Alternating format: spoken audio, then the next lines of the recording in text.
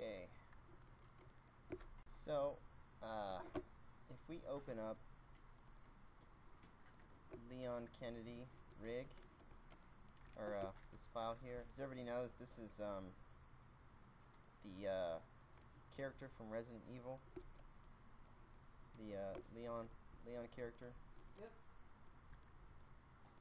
And uh, so uh, we're going to be doing a uh, a skeleton and control setup for if you were making a first-person shooter game.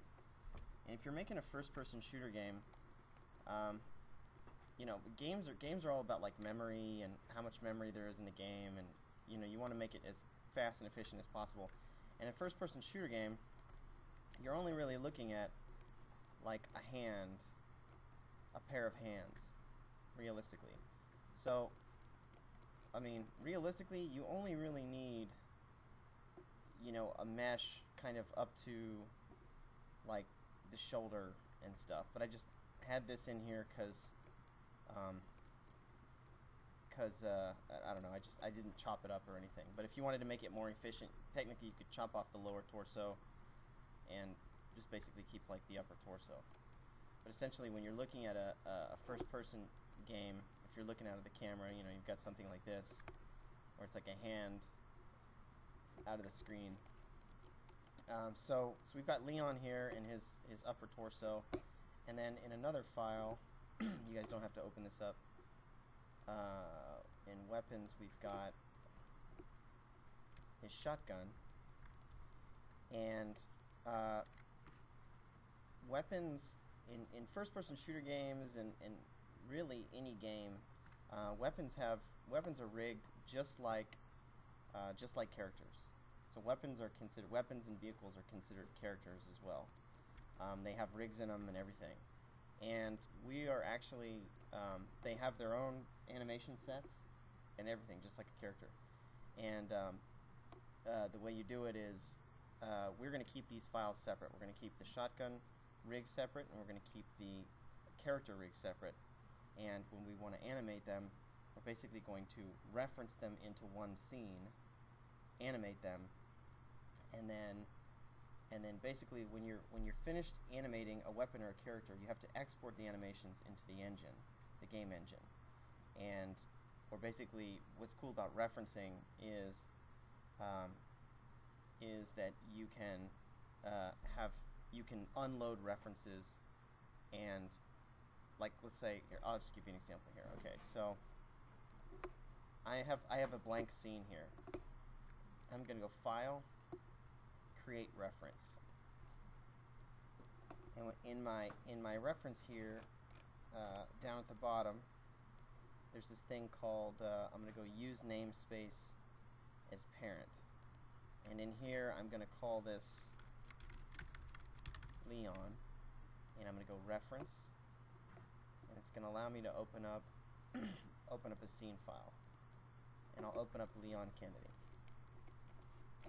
so now I've referenced in the Maya file Leon Kennedy and I can do anything I want with this and um, as you can see here it says Leon colon jacket and uh, this this mesh is normally called jacket, but because I've referenced it in, it has the reference prefix Leon colon jacket.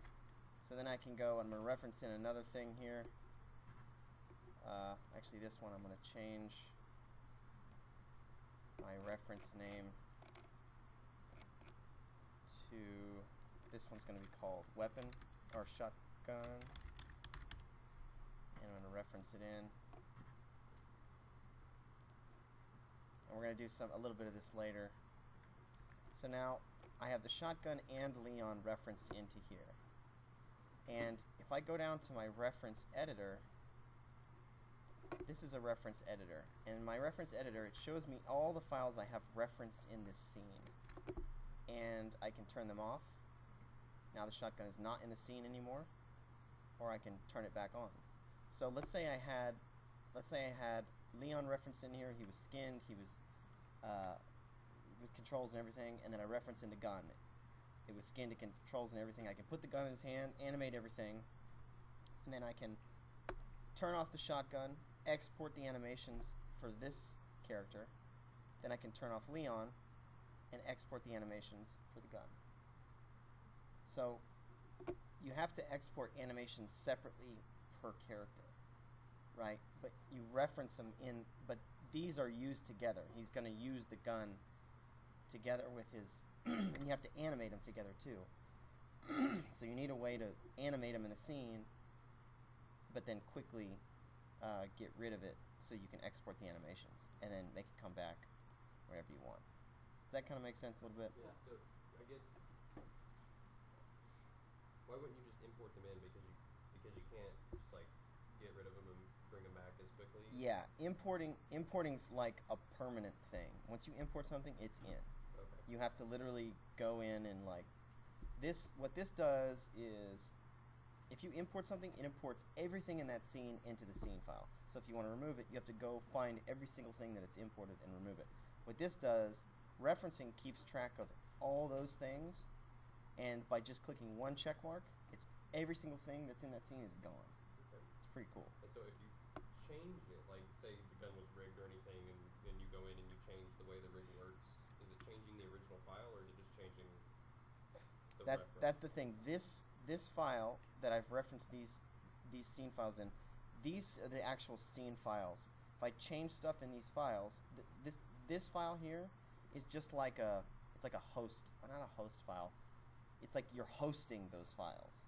okay. It's like this is just like an empty scene where these files are being looked at or held. But if I were to close this, if I were to save this scene, close this scene, and then open up just the shotgun file and add something to that rig and then save it and then open this scene back up, all those new changes would be pulled into here. So that's another reason why you do it is so that if you need to make any rig updates or changes, all you have to do. So this would be like the type of file that you would animate in. And um, if you make any rigging updates, all you have to do is reopen your animation file. And since it's just referencing these other files, any changes you do to the rig automatically updates in your animation file. real time. Like you don't have to like reload them or re-reference or anything. No, yeah, real time. Cool. Awesome. So let me just do something here. Something like kind of.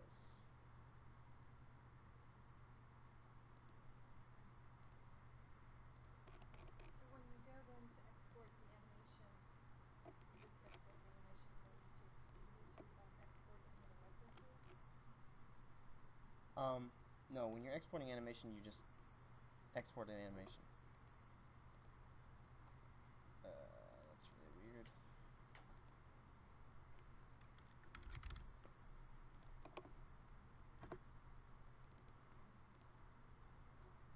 That's weird. One of the problems that Maya has is this. This says shotgun colon gun when I reference this in, but what I need to do is I need that to be a namespace.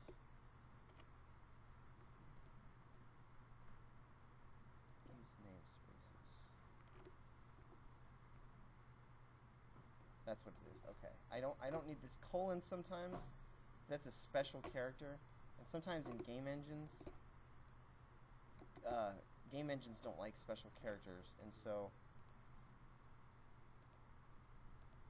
There we go. I unchecked use namespace, call this shotgun. And now when I reference it, it should use, yeah, there we go. Now it uses an underscore. An underscore is not a special character. It's just a, uh, it's just like uh, any other key on the keyboard, any other like letter. And so I, I like to use underscores to separate my prefixes, my referencing prefixes. We're going to do this all again. I just wanted to give you guys kind of a heads up over it. Okay, so let's go ahead and open on Leon. Let's get to rigging.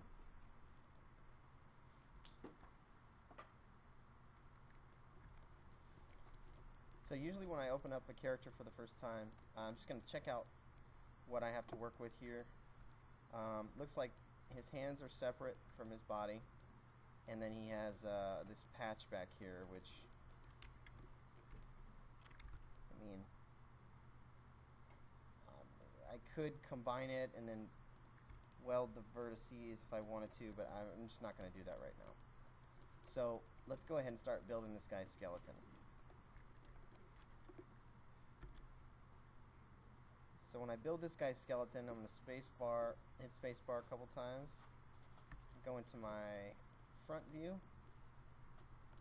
and I'm just going to go ahead and start with the spine. And uh, one of the things that I've done here is uh, when you when you're working in a first-person shooter type game, um,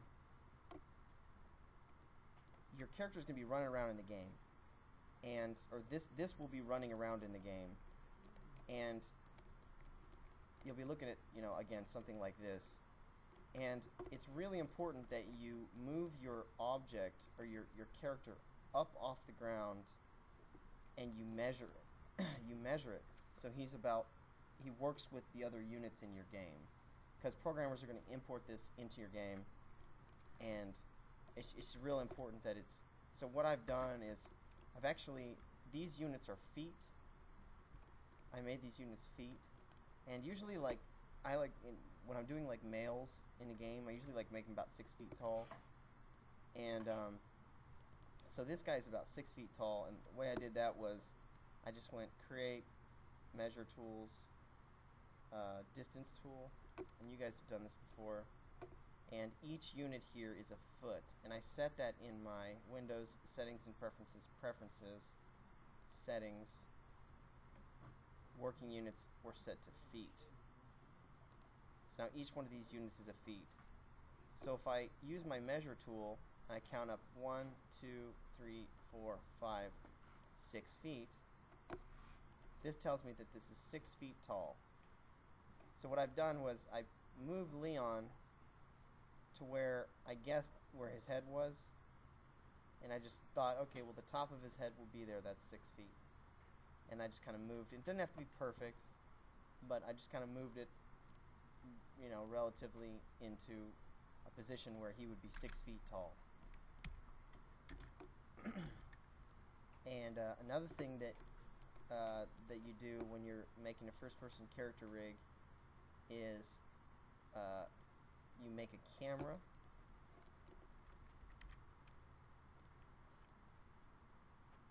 And you guys don't have to do this right now.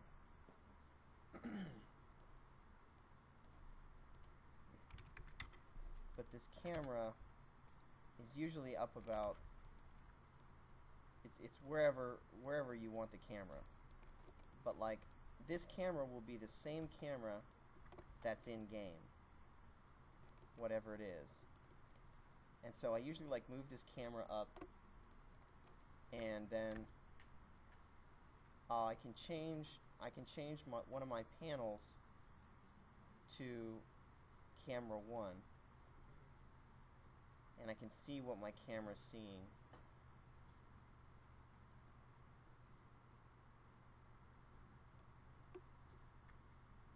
So if you were going to animate this this character, um, you would use this camera to try and like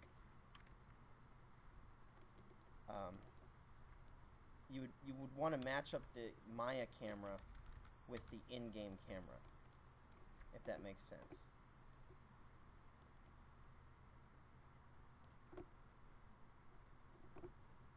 So that when you're animating, you uh, and the programmer will give you the units for how high you should move the camera and wherever, and you work with the programmer on where exactly you want the camera to be. Just so when you're animating, you're animating from a first-person camera. Or yeah, you're seeing what the you're animating and seeing what the player will actually see when he sees the hands and stuff. Anyway, we can delete that camera for now because we're not really animating. Okay, I'm just trying to give you guys kind of some perspective here. Okay, let's go ahead and let's start rigging this guy. So in the front view,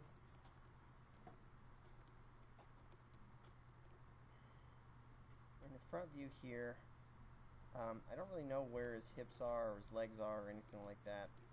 So all I'm going to do is I'm going to go ahead and create my first joint. And I think somebody told me about some options in here last time. Ariel, I think it was you, where I could like create them to where they stayed the same size or something Oh, like that. see where it says variable bone radius settings? Uncheck that. Down, down, right there. Yeah, so if you double click on your joint, joint tool, you go down to variable bone radius settings, turn it off. All your joints should be the same size. So we don't have that like multi-size joint issue anymore. and all I'm going to do is I'm going to create my first bone here at 000 and I'm just going to click on my snap to grid tool magnet tool at the top and I'm just going to click on 000 and that joint is a little small for what I want to be doing so I'm just going to scale it up scale it up you go uh, display animation joint size and I'm just going to scale that to about 4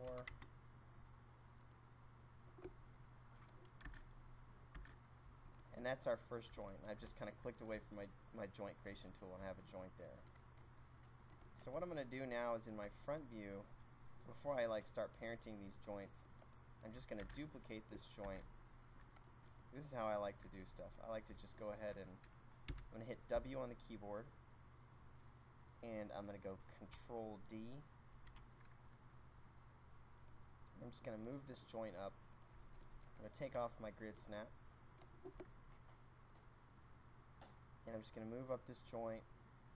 And this joint I'm going to stick at the bottom of the rib cage, kind of in the sternum. I guess you could call it the sternum. So right at the, I mean, sorry, uh, yeah, bottom of the rib cage. And then you're not really going to see much else going on here, but I'll just go ahead and make another joint. So Control D. And this joint, I'm just going to go ahead and put um, just go ahead and put this one here. That's fine.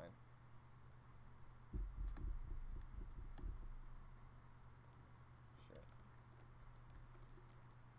And then uh, the next joint, so I'm putting, I put that kind of at the, the mid, uh,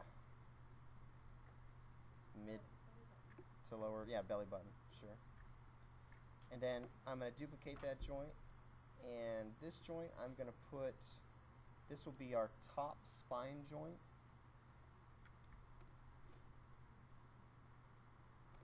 so I've got four joints so far I've got one at 0, 0, 0 and then three three in the for the, uh, for the spine and now we need to go ahead and create a clavicle joint so I'm just going to duplicate this joint, Control D, move it over to the clavicle, and I'm going to spacebar out here. Or actually, I'm not going to adjust these. I'm going to stay in my front view for now. So I'm just going to move this over to the clavicle, and then duplicate it, put another one in the shoulder.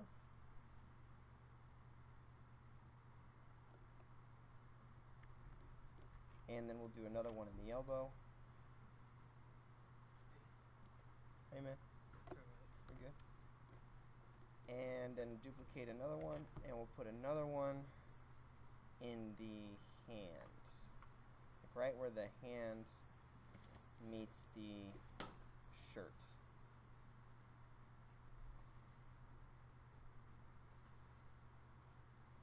So I'll go ahead and highlight these so you can see kind of where I put them. Would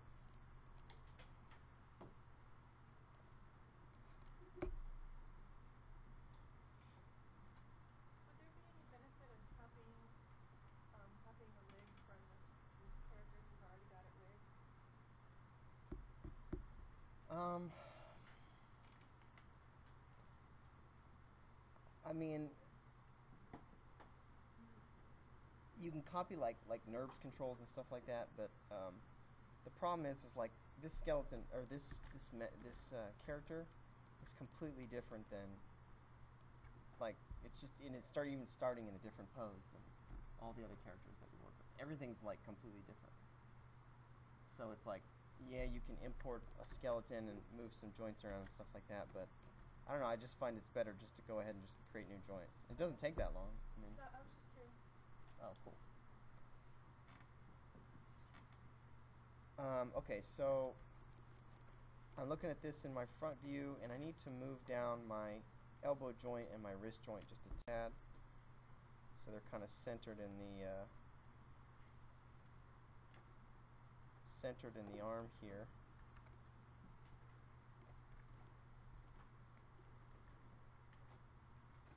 And I guess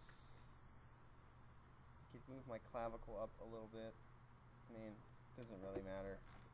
You're not gonna like really see it, but um, okay. So, so this is kind of what I have so far.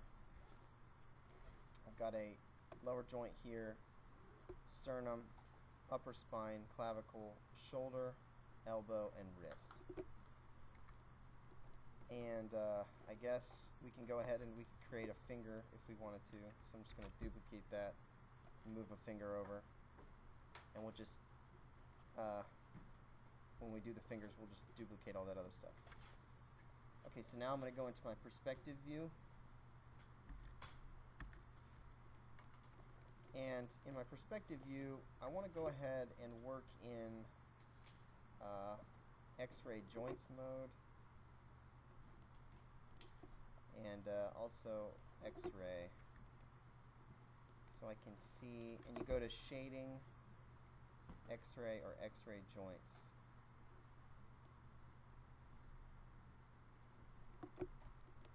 And uh, what I'm going to do is I'm just going to look at these joints here and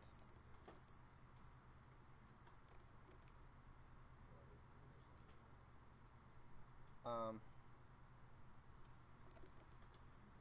let's see. I'm looking at my shoulder and my shoulder joint is a little bit forward from where I probably want it so I'm just going to grab my shoulder joint and just pull it back a little bit so it's more centered in the arm or more centered in the shoulder. And then I want to grab my elbow. And I'm just going to pull my elbow back to where it's more it's more kind of towards the back of the arm. But not all the way back. The wrist looks fine, the finger looks fine. And now I definitely want some curvature in my spine here. We're really not going to see a whole lot of spine stuff, but I'll just go ahead and do it anyway. Uh, so the way we'll do that is we'll just pull this sternum joint. We'll just pull this forward a little bit so there's a little bit of a curve in the spine.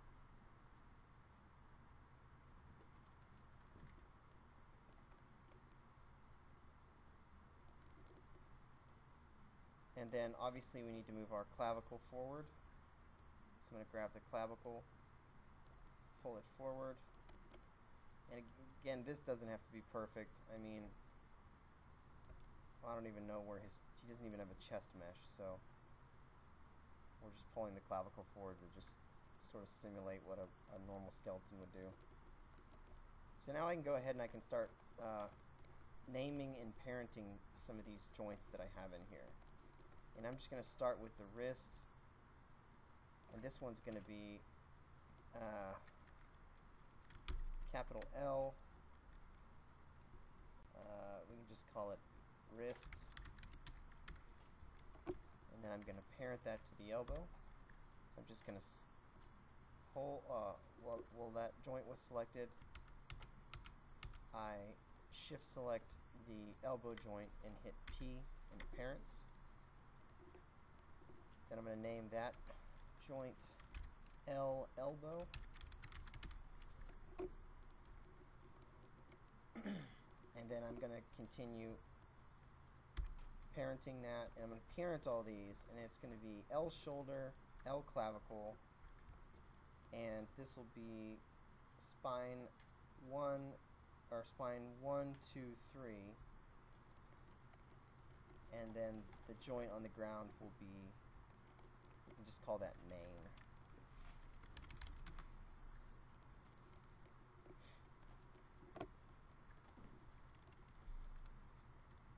So L clavicle.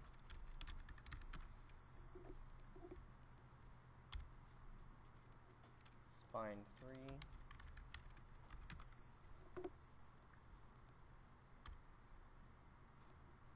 Spine 2 and 1.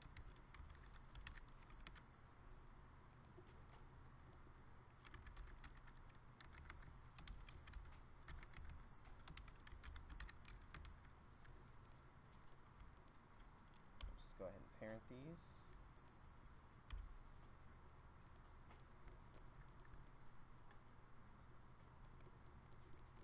And then I'll parent spine one to main.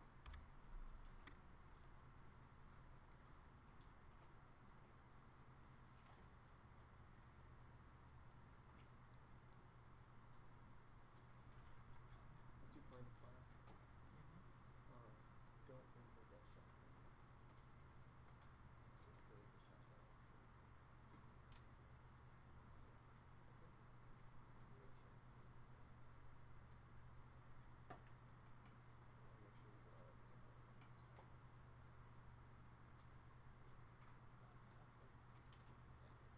Those are textures on there? Some groups. Okay. Let's kill it too. All right. So I'll leave these uh, joints up for a second here. You can see what we got going on here. And if you want, you can start building out the hand, building out the fingers in the hand.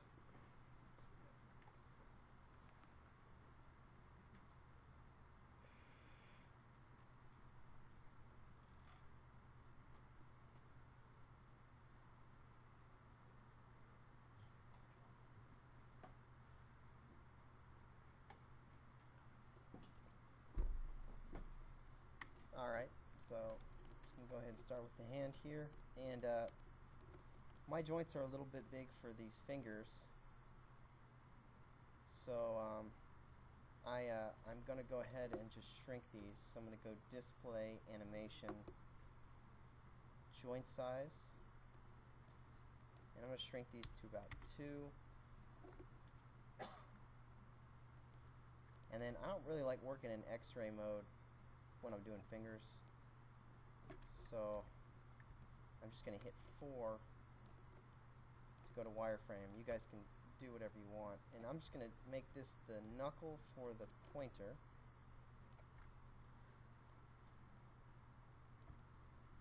I'm just gonna put this one in the knuckle. And then duplicate it, move it to the knuckle in the middle.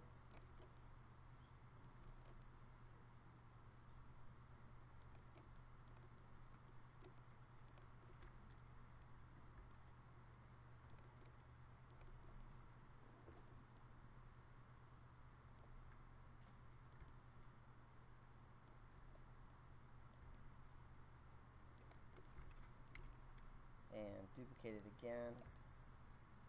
Make the other knuckle.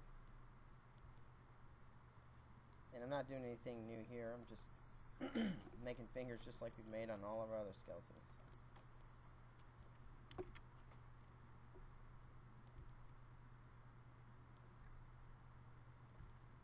Make sure it's good.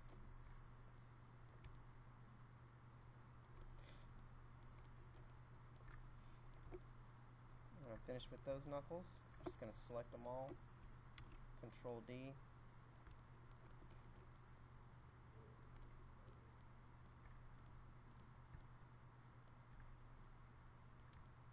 And then move these into place.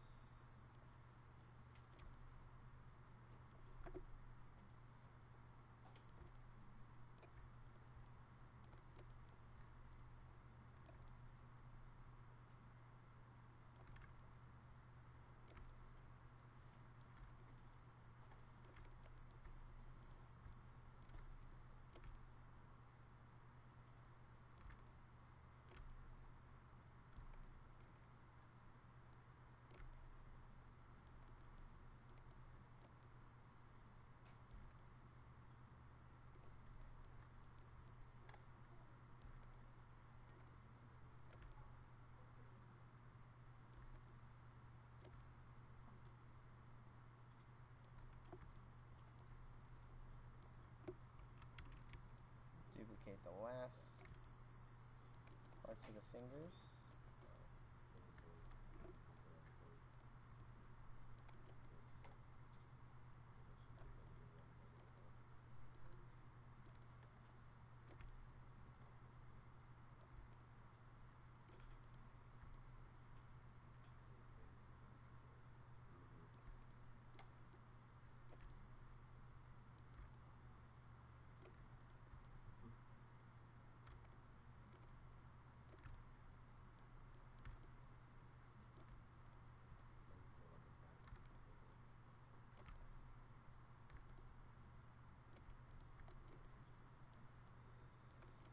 We'll start with the thumb.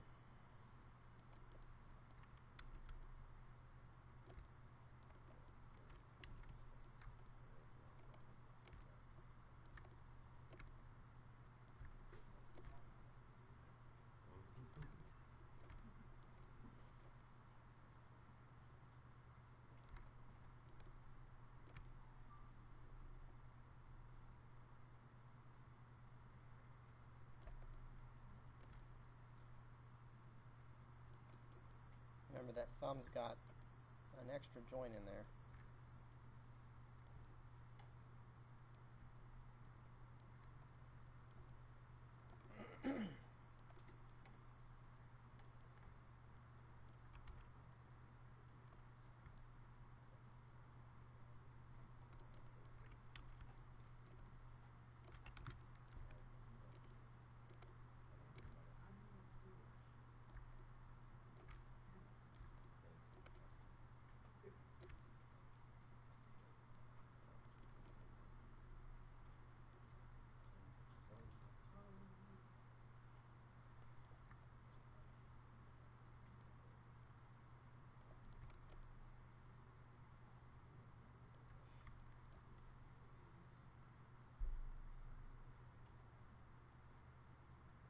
Once you're done uh, building all the joints in your fingers, you can uh, name them and then parent them. And uh, I'm just going to call this uh, L thumb uh, one, two, three, L pointer one, two, three, L middle one, two, three, L ring one, two, three, and L pinky one, two, three.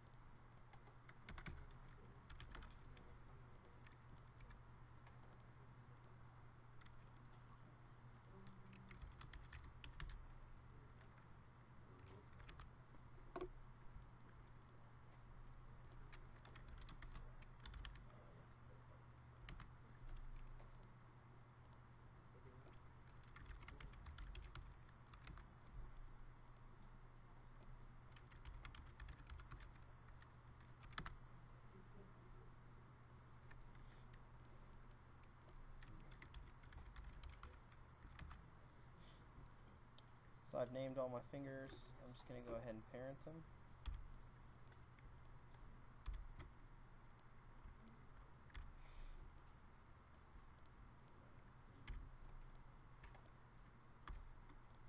You want to parent the knuckles to the wrists.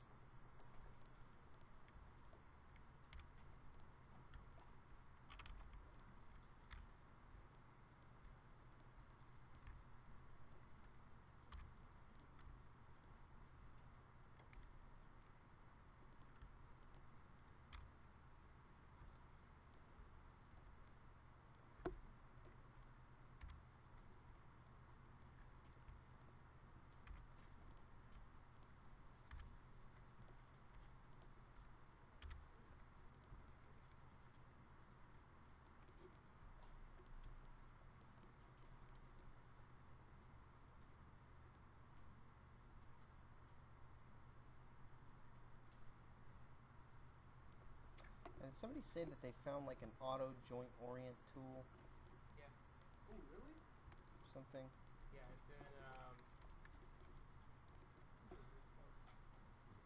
skeleton, joints, orient, or orient joint. Yeah. Um, primary do the X, so the X will point down the chain, and then I say do secondary Z, so the Z will point, you know, forward, and That's then cool. the Y will just be whatever. So let's take a look at this tool and see how it works. So if we were doing our joint orients Go here, Go ahead and do it from the uh, the main joint.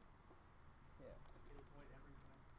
It'll point all the, the, the Z's forward, all the X's down the chain. okay, cool. So what I'm gonna do is I'm just gonna select my main joint. I'm gonna click on select my component type, then select the question mark, and it shows all my joint orients here. you shouldn't have to s- select it like that. In fact, just make sure you're on object mode. Right. I just wanted to see them though. Right. So then you said uh, you said X, Z, and yeah. Y. That's really cool. It doesn't point them down the chain though. You have to select the uh, the object in object mode. Oh. Oh, really? Yeah, So if I select the joint, yeah, just like those.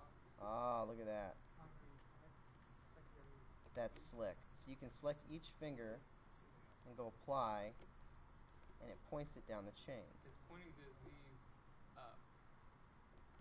Well, what? Why is that? Oh, maybe you need to set Y. We need Y's up. Yeah. Okay. So you select the finger and you change secondary axis, I guess, Yeah. to Y and this to Z and hit apply. No, that's not and then it. it's pointing the Y out. Yeah, what's what's most important is the is the X. Is that it's pointing down. Um, Yeah. It's not necessarily going to be able to point the Z axis straight with the stage if if the X is pointing down the chain.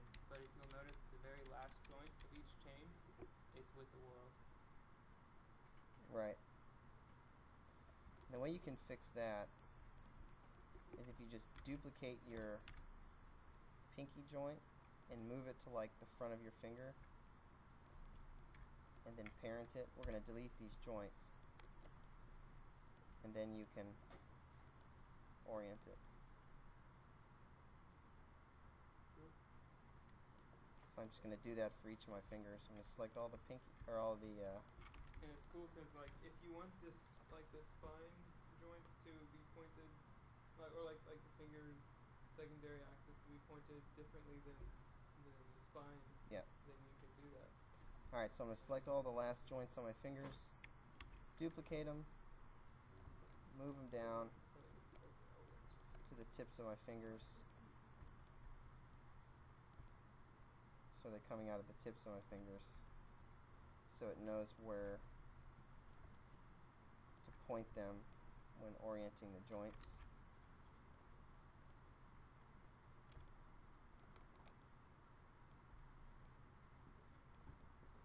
And then I'm going to reparent them. So I'm going to select them, parent them to the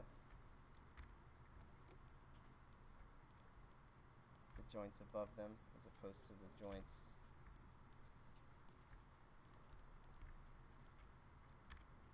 and then I'll select my fingers again. I wonder if I can do multiple fingers at the same time. Select all my fingers. Yep, and you can do multiple fingers at the same time. And then you go through and delete your end joints. And now all of my fingers are oriented perfectly. That's fantastic. That took two seconds. So I should be able to select all my knuckles, go edit, select hierarchy. Oh, it doesn't do the thumb the way I want it though.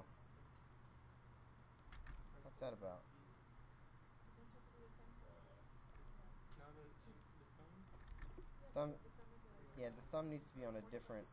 Yeah, use the joint orient and just uh, change the secondary axis. Yeah, so the thumb needs to rotate So on the so I go skeleton, joint orient to the secondary axis. Yeah. So I switch these. Believe so. I could be wrong, but I believe so. Let's try it.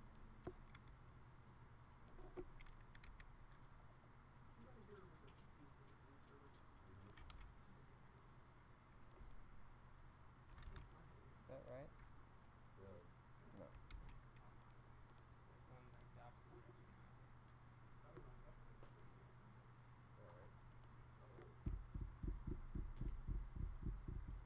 Alright. I'm just gonna. I don't know what. How to do that, so I'm just gonna. Uh, Just hand the buttons. yeah, I'm just gonna hand do the thumb. So if I look at these, Z is down, X is across.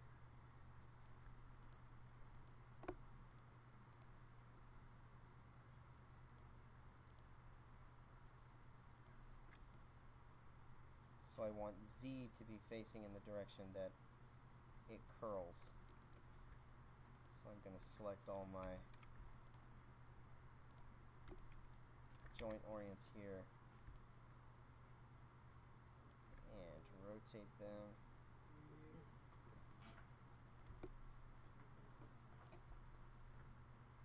That's awesome. I don't know, it gets like mocked up. Like sensei. Yeah. Yeah, he's like, Excuse me. There we go. So now, when I select all the hierarchy,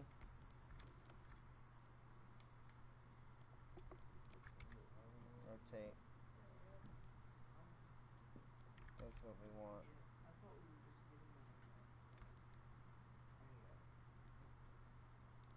What did you do different on the thumb for the orients? All I did was, uh, well, I oriented them all the same, so they were they were all uh, they're all oriented now. But with the thumb, all I did was I went in and okay, so when I selected a finger here, I selected one finger and then I checked my joint orients here, and I noticed the Z's were pointing down.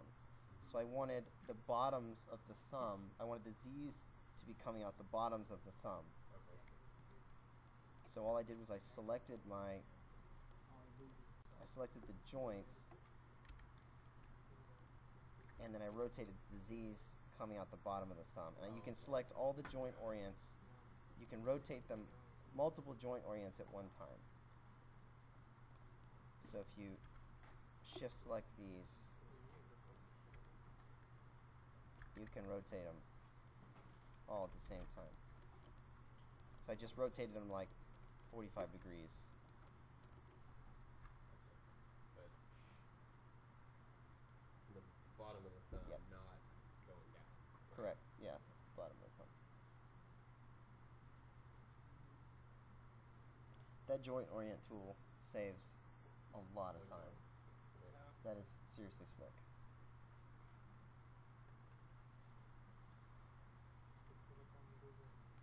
I mean, it, it just basically oriented my entire body. It's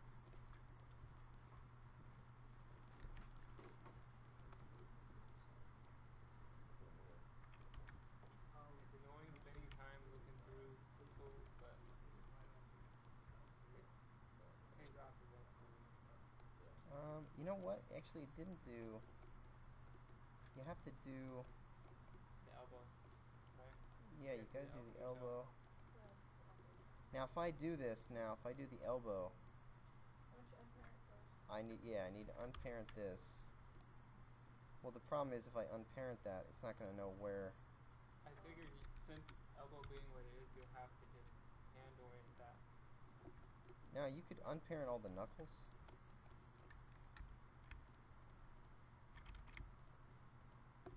If I unparented the knuckles and then selected this and went skeleton orient joint.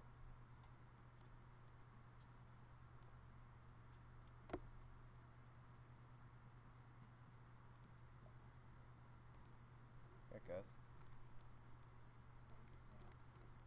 So now that's that's oriented. And then since I, you can just go ahead and do I think you could just do the whole skeleton, couldn't you? Is that the skeleton? Yeah, just select now that the since we already did our hands, just select the bottom part of the skeleton and now the whole thing's oriented. Yeah, perfectly. That is unreal. So did you guys get that? So if you unparent, okay, since we already did, we oriented our knuckles. Um, if you select, you unparent your knuckles from your hand, then select your bottom joint, or the, very first joint, and then do the orient joint tool, and it orients the entire skeleton other than the hands. And then reparent your?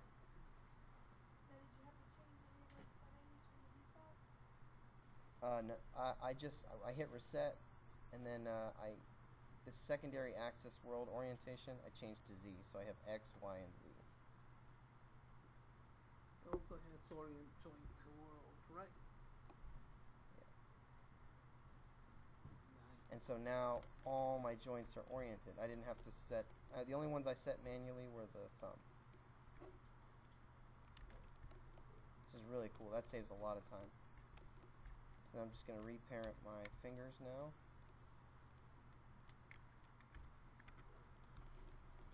And I've named and oriented my skeleton. Everybody go ahead and save your scenes. Do you notice? It's still here. but- uh, uh, moving it. Like this. Yeah. Make sure, in case you don't worry about them. Does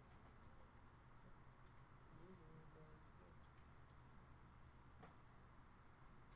It moves the whole thing at once. It's still, that's the uh under skin. Smooth smooth skin joints tool. But it works without even doing skin. I use that today, by the way. Yeah? You I can move joints inside skin. It's really slick. Not only that, but you can move it works without anything being skipped to it. So you don't have to keep on unparenting stuff. You can Right. just grab the tool and then just move one piece at a time. pretty cool. You can do all kinds of stuff now with stuff skin. You never used to be able to do that. You can like, I can remove bones from skin and add new bones into skin. I can like mirror a skeleton, and then like, like if like today some kid like, he he he built a skeleton. He built the entire skeleton, and it was like off, right? Because he didn't mirror it, and I, it was skinned already. He'd done a bunch of work, so I literally removed half the skeleton while it was skinned, mirrored the skeleton, all while it was skinned, and copied the weights, And it worked? and it worked. Awesome. Wow. It was unreal. That's that's great. Wow. Granted, his mesh is symmetrical as well. Actually, The mesh wasn't. The mesh wasn't symmetrical. I had to chop the mesh in half and parent it and uh, What has to? mirror it. so you you cut you you cut everything off on the the negative x and you copied everything. Yeah, it was funny. And and it didn't break. No. Yeah, All right, let's keep moving here. Okay, so uh, we've got half a skeleton. Uh, who knows what to do now? Smooth skin. Well, we need to mirror this skeleton. So select the clavicle, skeleton, mirror joint option box, and we are going to search for capital L and change that with capital R. And change your mirror across axis to YZ and mirror.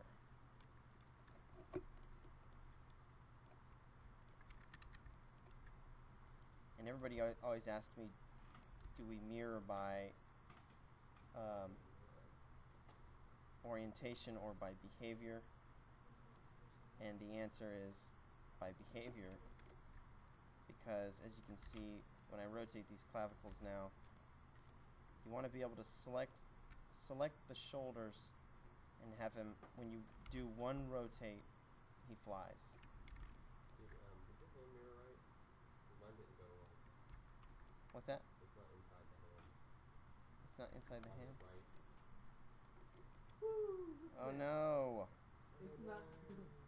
the mesh isn't the mesh is not symmetrical okay so this I is rigging rigging 101 uh, The mesh is slightly to the, slightly off the. Uh, This this is is rigging that. one of the problems you're going to have to face as a rigger, uh, where you are going to find a lot of mistakes that modelers do, and it is your job to correct those mistakes.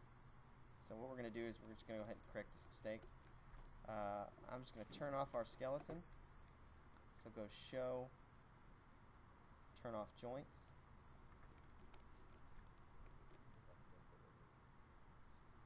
And since the arm is the only thing that's really jacked up here,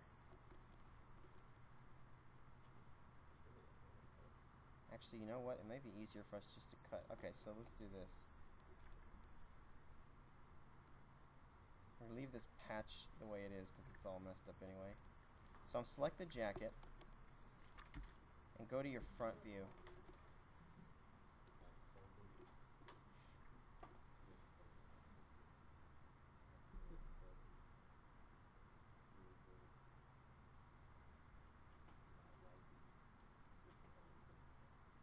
Alright, you guys.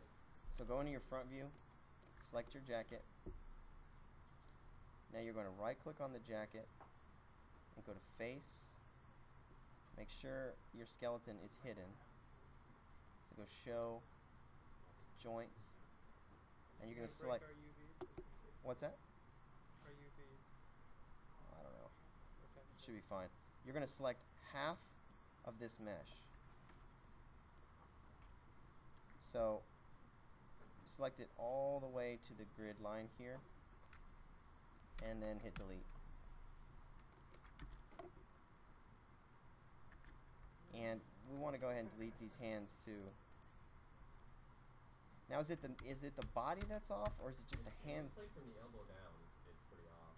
Alright. It did to me. It So- looks like the whole thing's kind of It looks like symmetrical. wh- what I look like. What it looked like to me is the uh, the entire model is just a, a hair off the uh, the zero of the Yeah, I, I kind of of see the that. world. Alright. So delete half the mesh. Go ahead and delete that hand too. You can easily mirror the hands. Make sure you're when you delete the hand, right click face, delete the faces of the hand because it's merged with the other hand. And then the back jacket piece too. But it- it like them. I think our text is gonna break. Oh, yes, it's not even the, the, the, You're gonna have to like just slice the line straight through it or something. We'll figure it out. Okay, so now uh, what we need to do here is I'm looking at this and it looks like some of the jacket here has spilled over the grid here. So I'm just gonna zoom in here, right click this jacket, go to vertex, select these vertices, turn on my grid snap, and snap these to the grid. And when I snap them to the grid, they don't all line up with the grid. So I'm going to double click my move tool and go down to this says there's an option in here that says retain component spacing. Click that and now when you snap it it'll snap perfectly. So then you want to select all the verts in the middle of this guy and now snap them all to 0 0 0 You go back up. How do you get up the snap? Double click the double click the move tool. Mm-hmm. and then down at the bottom there's uh, where it says move snap settings there's something called retain component spacing. Uncheck that. Make sure your grid snap is on. And you'll snap it to the to the grid.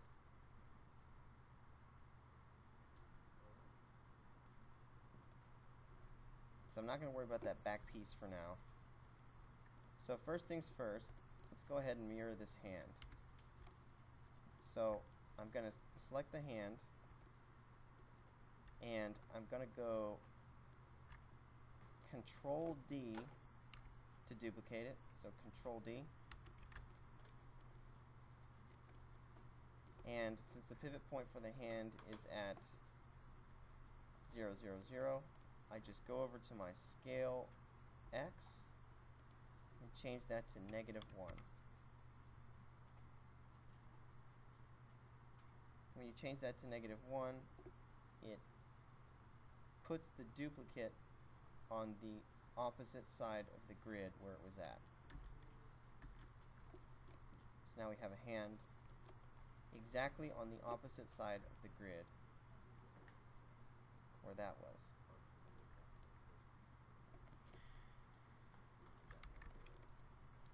And now we are going to do the same thing with the shirt. So if you select half of the shirt and go Control D and then negative X 1, it copies the shirt over exactly the way we want it.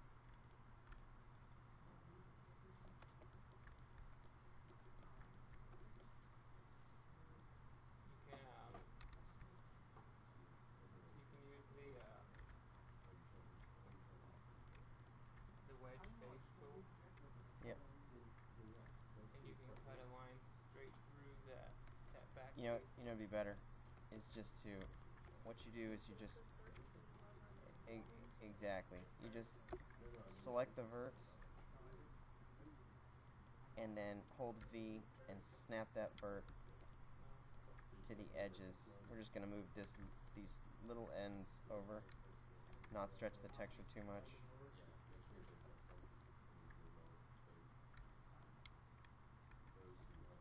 And then there we go.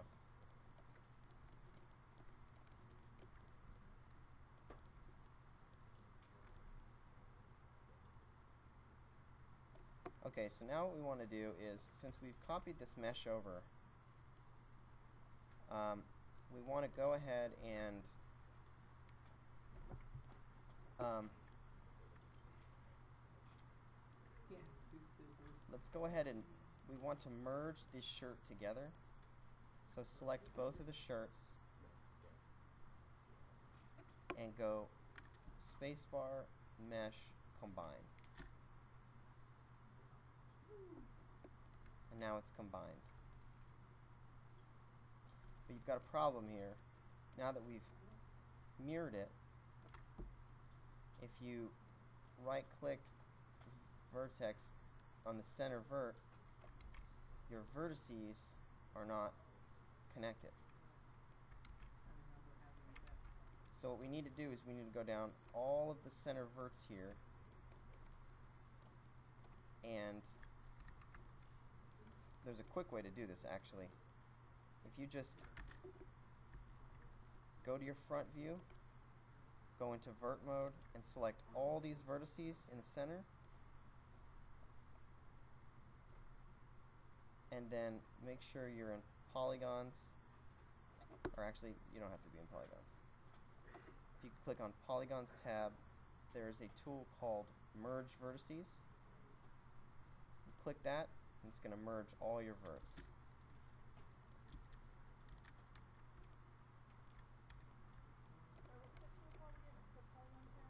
It's called Merge Vertices. So now all of our vertices are merged.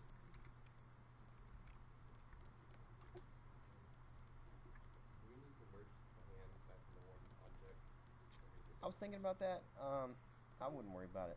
Let's let's leave the hands separate for now. Yes, two zippers. Yeah.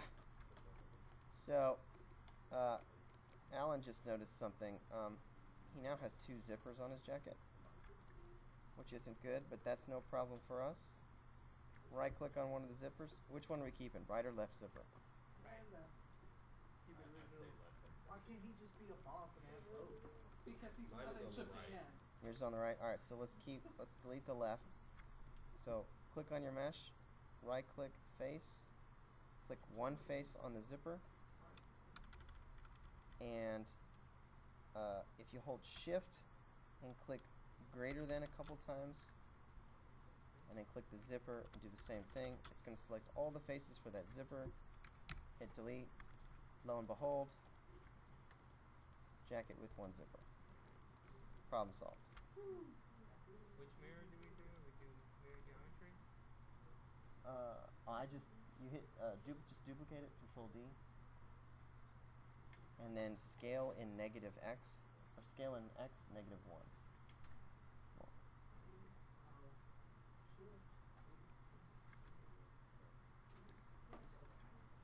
So now if we turn our joints back on, we have perfectly mirrored mesh and joints problem solved. Never had one. Put that one up. But they're not exactly on the plan, so And everybody save your scene files. what'd you do? Are they still not doing it? Chris, Yeah. What did you do about the uh, these faces here that I- extend across? I snapped them. I snapped them to the uh, center point of the grade. Going in front of you. okay, I got it. Two Gs Alright, I know. and then join. So now, if I go, It's not a hand. Not, um, yep. That's money right there. alright, are all the orders right? It should be. It should be just select them and, um, Click that box. just move them and see. Like right there. No, they're not. Oh, no. Oh, no, okay. You make sure. There's there's a trick. If you select select all of them, Oh, no, that's like fine. all the verts. It's gonna, when it mirrors them, it And then moves double- already. and then So move it's to gonna reverse them. But Double let's click switch on them the- around. Grab them, not You one want on on the the left left-hand and side? then move right hand. Yeah. Yeah, just put it on there. And then there should be an option that says retain component spacing. And we do it again, Yeah, right? yeah. This thing up. Click that. Now move now move those. They all stay. Oh, They will all merge. different, yeah. That's a fancy trick right there. Now what's up with that? How's Is that any one of feel? those places a little slot? It's from the back piece. Yeah, I know. Okay. Oh, wow. Yeah. That's Alright, another, Chris. another What? problem. The Okay. drawing has that back panel on Yep. the jacket. Very easy to solve. Um, what you do is you just mine were off too. They were off like a little bit. All you do is you just select a vert, select one of the verts, hold V, and snap it to the edge. And each one of those has another vert that it can be snapped to that matches up perfectly. Why would they do the back panel separately like that? I have no clue.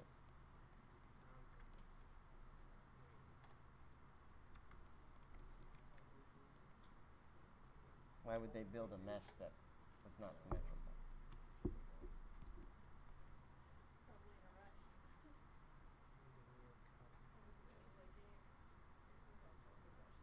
I think rigging, uh, taking a rigging class is, is really good for like character modelers.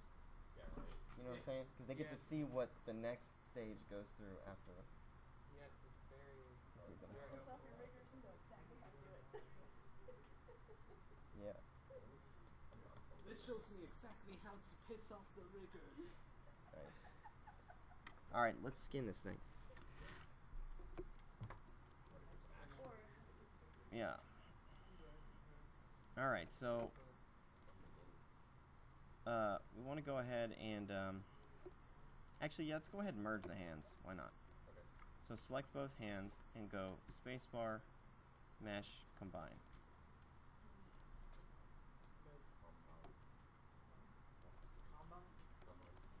And now select the hands, shift select the shirt, and shift select the skeleton.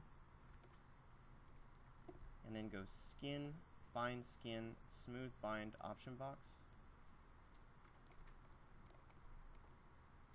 And you want to change normalize weights to interactive. Uncheck allow multiple bind poses. Uncheck removed unused influences and then hit bind.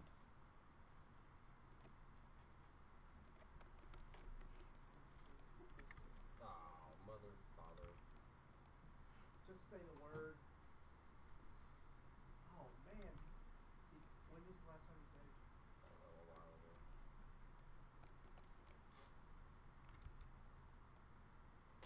Oh man.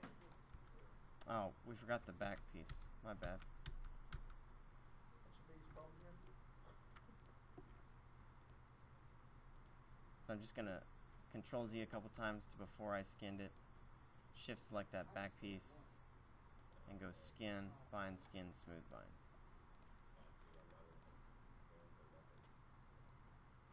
Going. Now the back piece is skinned.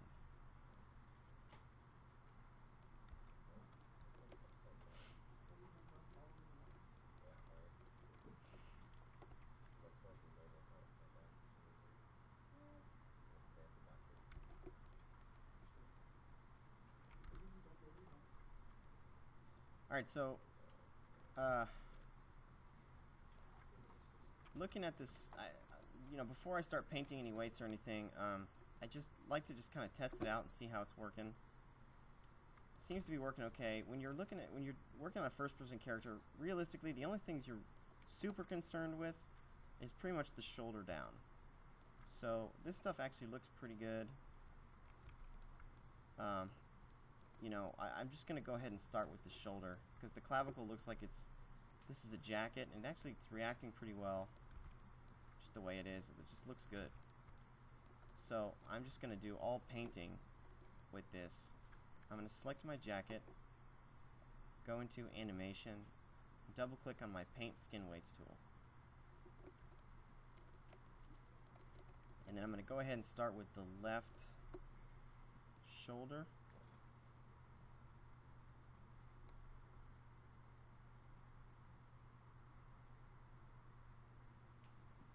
wherever that is.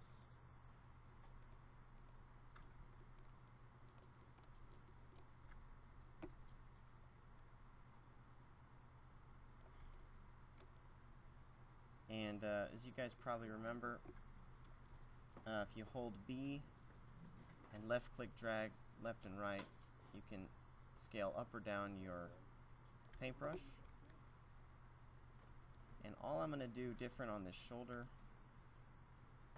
is basically paint paint the shoulder so the shoulder actually rotates when the shoulder rotates. So I'm just going to follow follow the edge loops here and make sure that that's all painted in.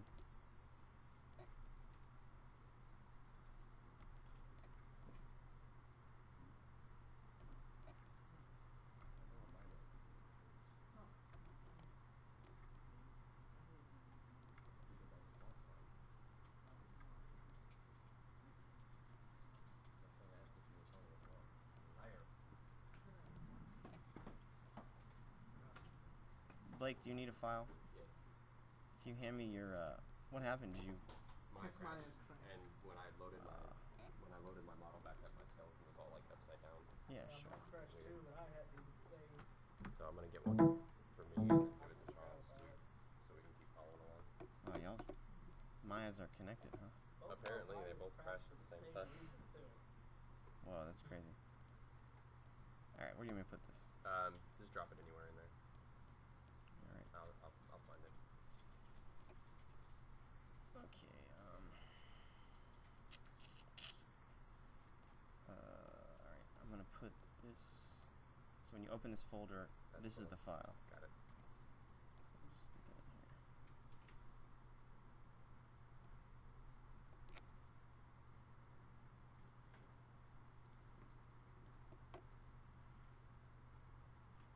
Wow.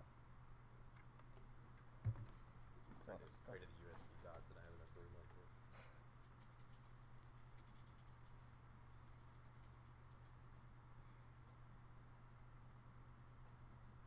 There you go.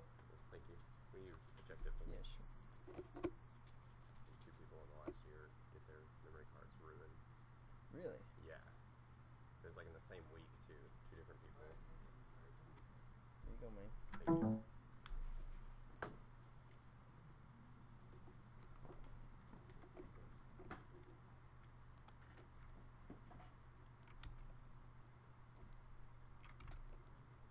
Chris. Yep. The merge vertices tool isn't working for me. Did you combine your meshes? That's right. I have combine. Just go mesh combine.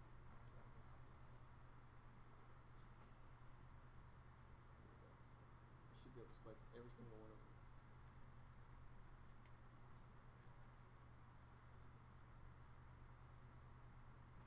Yeah, just click it one time. Really? Thanks for that. I was thinking about that too. Uh-huh. Um, Oh, my.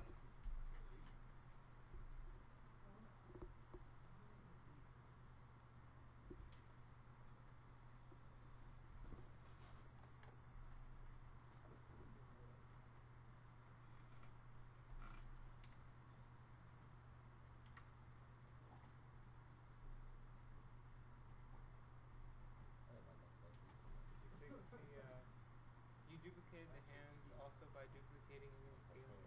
Yeah.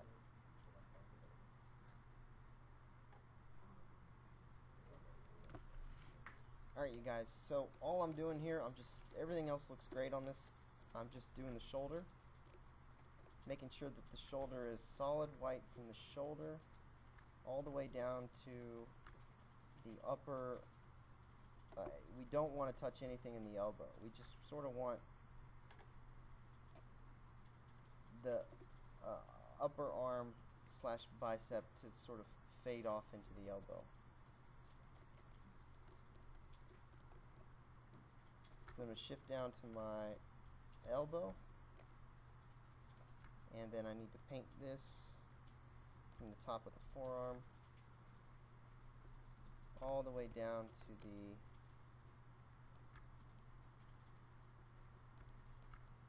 bottom of the shirt.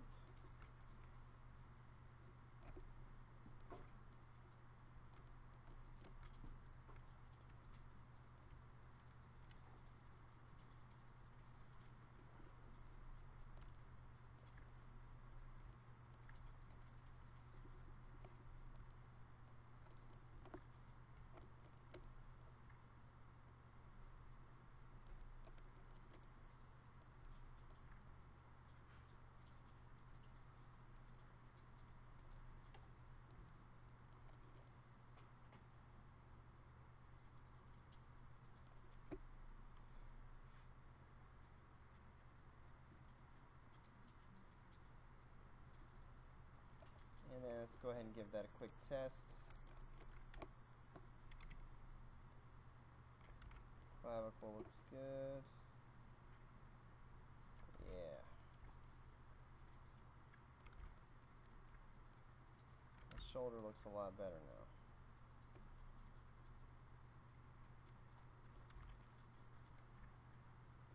Hmm.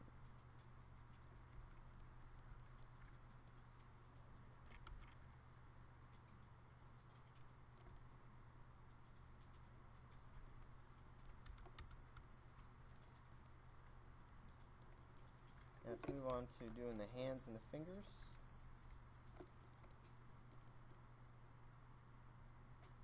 So I'm just going to select my hand, double click on the paint skin weights tool.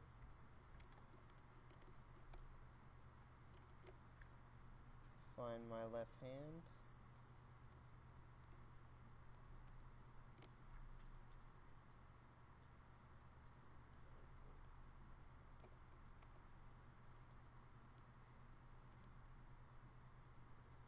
Left wrist.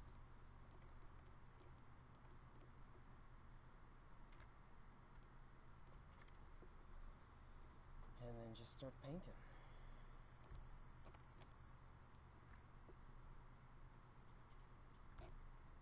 Make sure that the hand, the wrist joint controls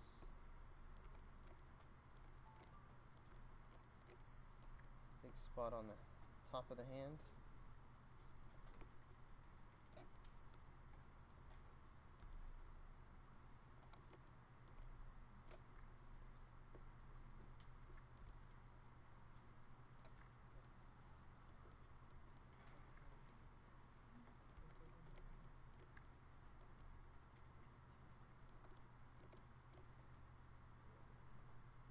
And then just move down the fingers one by one, starting with the knuckle.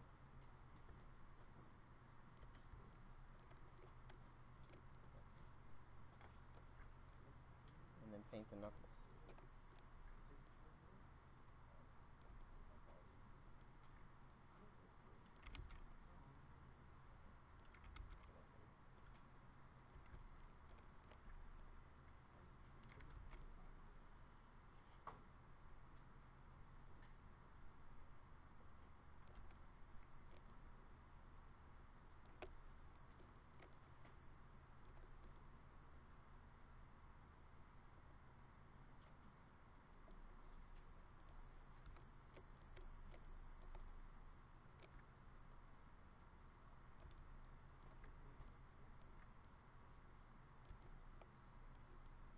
always love doing fingers because it just feels like it just takes forever. Did you say you love it? It just takes forever. It's really annoying.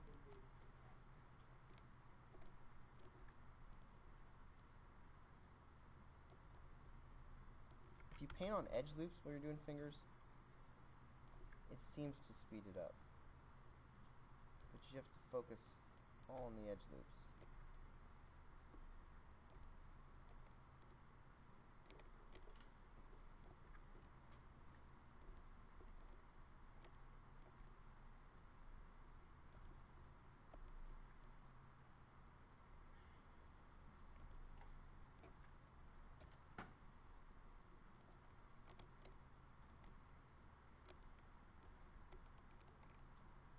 Finger number one.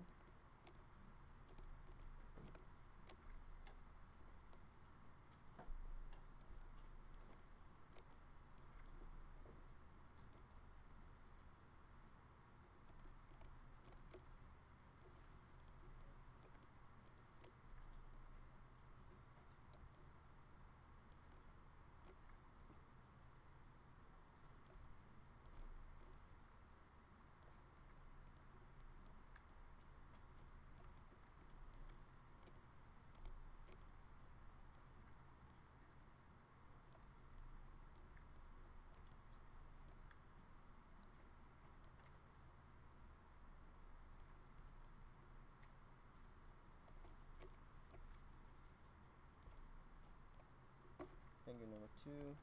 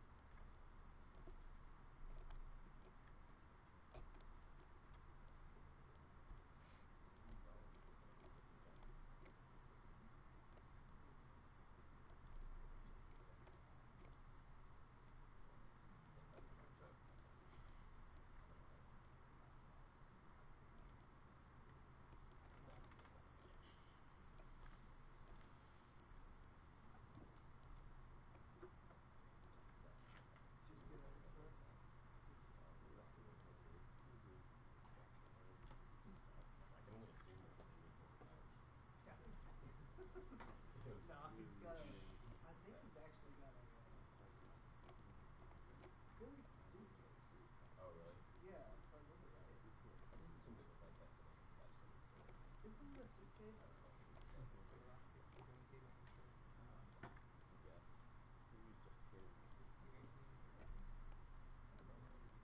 Alright, you guys, let's keep going here. Gotta finish this up.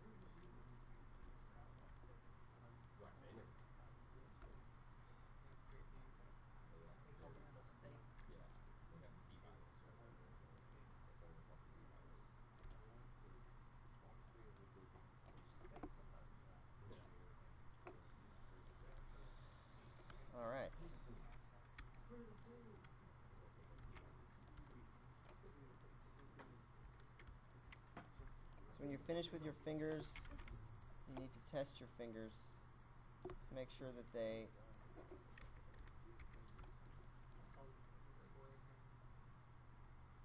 curl. What's the way this rig is? That every time I hook up to it, that's the way it goes.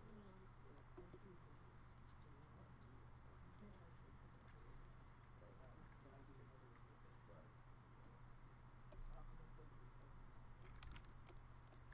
think it was doing this one, just from looking at it.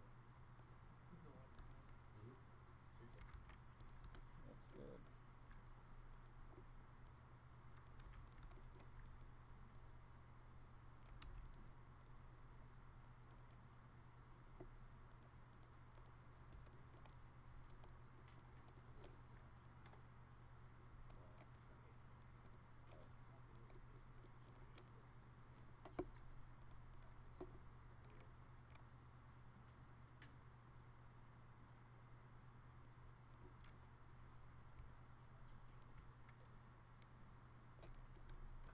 So I noticed that when I was rotating my shoulder, some of the weighting from the collar and stuff was affected. So I'm just going to go back through and paint out some of this weighting. The shoulder does not need to affect all this stuff.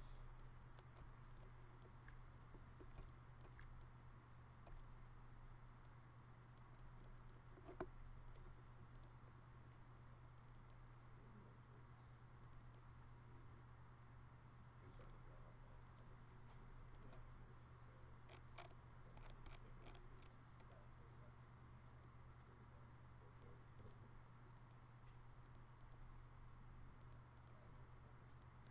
And also on the back patch, you want to paint out any weights that's uh, that are affecting the the shoulder. The shoulder does not need to pull back patch stuff.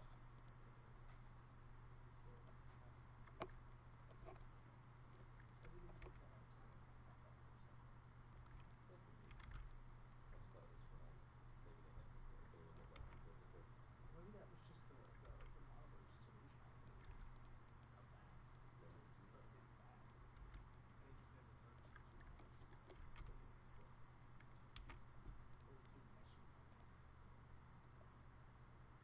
Or two meshy. So okay, I've added in some controls here. I uh, I created uh,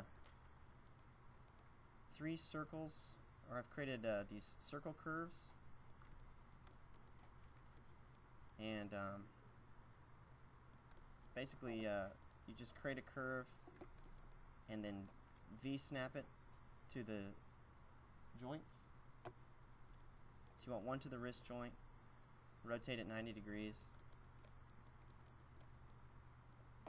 And then you want three for the spine.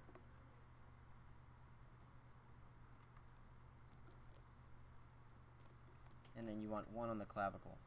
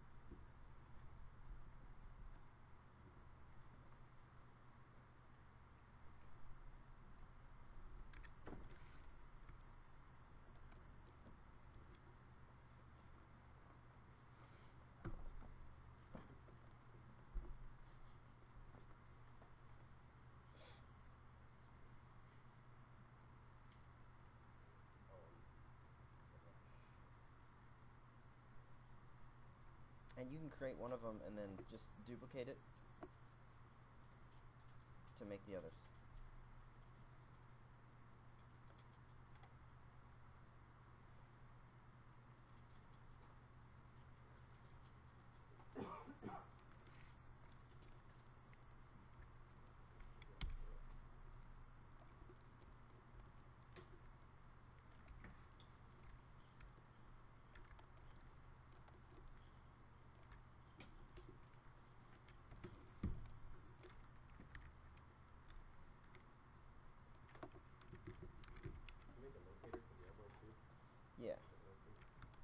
So, let's see. Yeah, I also created the locator for the elbow. What I did uh, in animation, if you click on the animation tab, there's a locator. You click it, it'll appear at 000. V snap that to the elbow. So hold V, move it to the elbow, move it out in space a little bit, and then scale it down.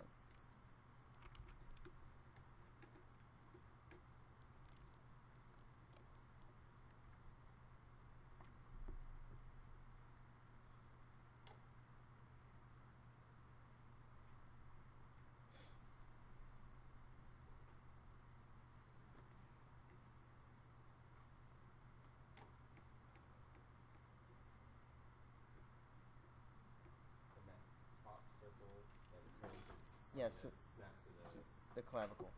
So I no, just I'm sorry, the, the next one oh this one this one snapped to the top the upper spine, Okay. and this clavicle one I just snapped it to the clavicle and then just kind of rotated it to where it would be easiest for an animator to grab.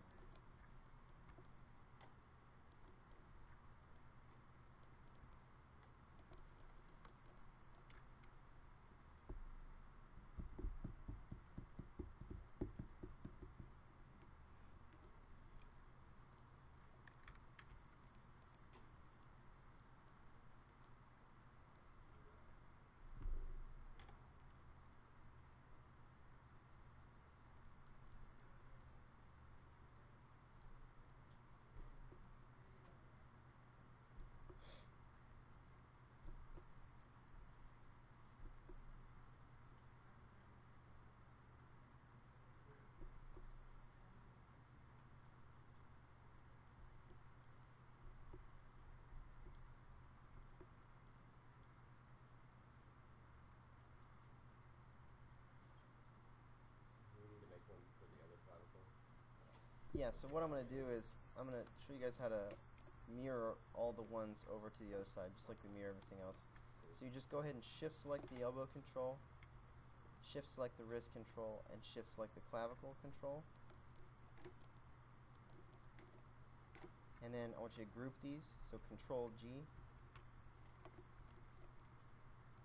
And then in with the group selected, scale X in negative 1 and it should copy those. Oh wait, you want to duplicate the group. I'm sorry. Yeah, duplicate the group. Control D. And then scale those in negative 1.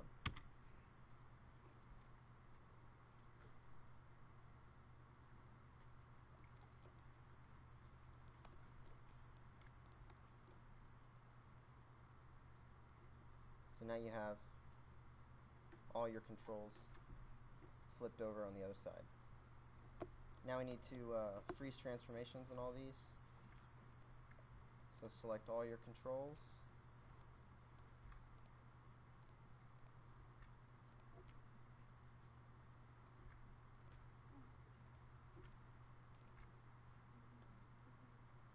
And then go modify freeze transformations.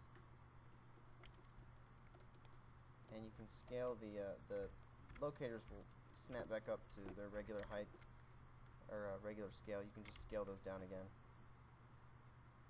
And then with the locators, you can uh, lock and hide the scale. So just right uh, click on scale in the channel box, right click it, and then just go lock and hide selected.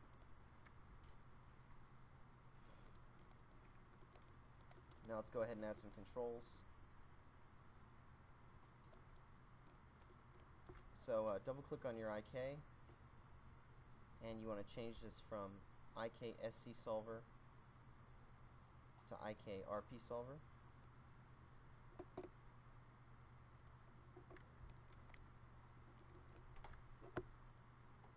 And then you want to create an IK from the shoulder to the wrist.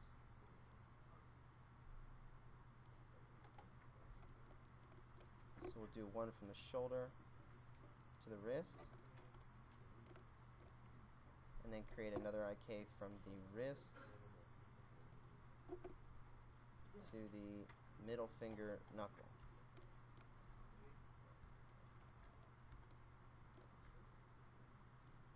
Then drag select over the middle finger knuckle IK, drag select over the uh, wrist IK, and hit P to parent. Then select the wrist IK, group it, Control G, and hit Insert to move the pivot. V snap that pivot to the wrist.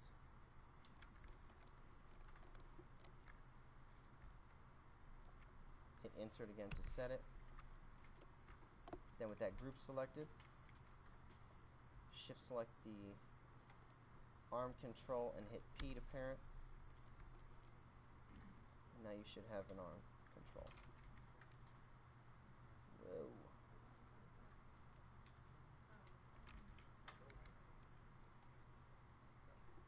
Now to create the elbow, select the elbow locator. Shift select the wrist IK and go constrain pole vector. And now the elbow should follow the locator. Select the locator. Shift select the wrist IK.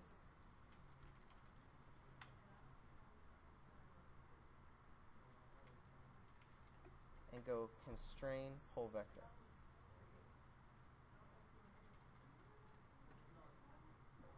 Did you get that? Alright. Now we'll do the same thing for the other arm. Create an IK from the shoulder to the wrist. Then create an IK from the wrist to the top middle finger knuckle. Select the middle finger knuckle IK. Shift select the wrist IK. Hit P to parent. Then select the wrist IK. Group it, Control G. Hit Insert to move the pivot of the group. V snap that pivot to the wrist. Hit insert again. And then with that group selected, shift select the control and hit P.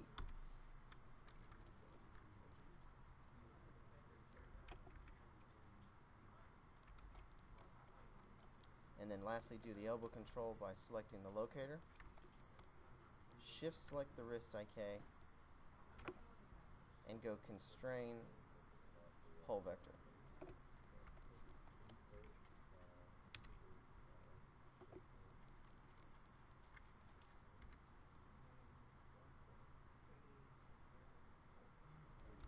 Oh, Tired of watching it. Uh, one thing that we forgot to do is mirror our mirror our skin weights.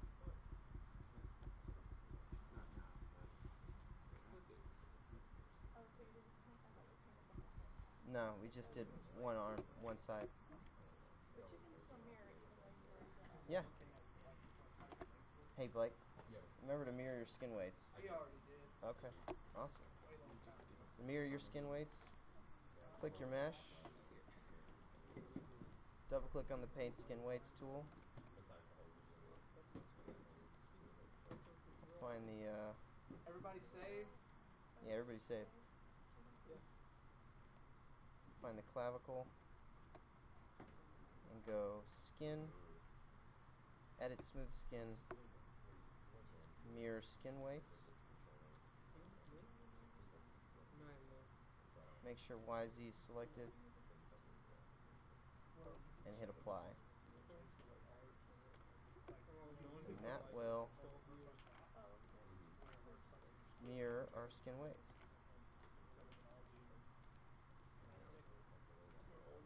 Perfectly. And save us a lot of time. Make sure to uh, mirror the skin weights on the doesn't matter. Should be alright. So then if you want to move the hand, you put It's funny too. I don't like, I like to worry, but I find it. The last step for the controls is to constrain the circles to the joints. It's very easy to do. You just select the controller, shift select the joint, constrain, parent.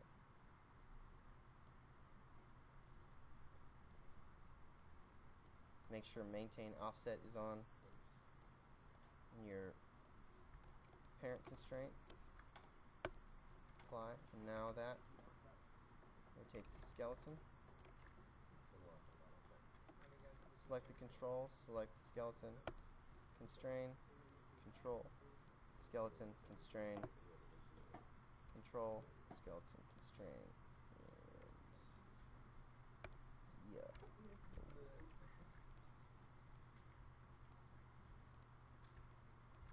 That's really weird.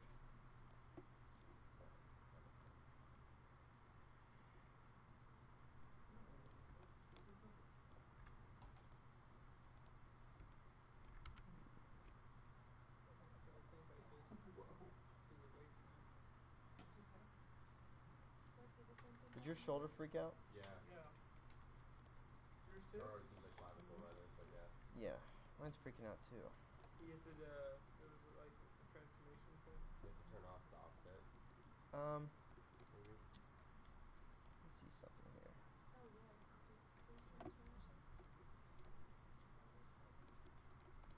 When you mirrored the skin weights, did you mirror the jacket's weights too? Um, you can.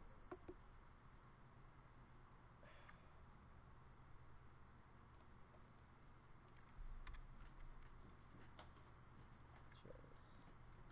And did you freeze the transformations like that that up? Yeah, there you go. All right, so the way you fix it is um, if you go into your hypergraph hierarchy, so go select that controller, and then go into your window hypergraph hierarchy, and then hit F, and you'll see here. You'll see you have the ones uh, selected here. Mine's called NURBS Circle, whatever. Select both of those. There's two of them, which are both of the uh, the clavicles, and hit Shift P, and that's going to unparent them out of that mirrored group. And then if you just select the clavicle, shift select your joint, constrain parent, should work just fine.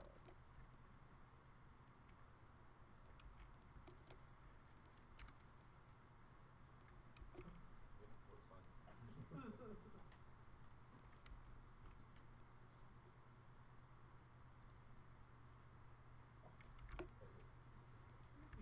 Cool.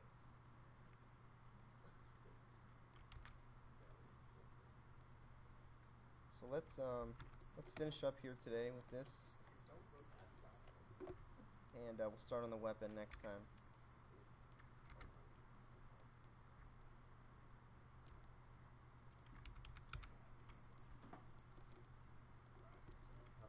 Good job, Blake, for keeping up.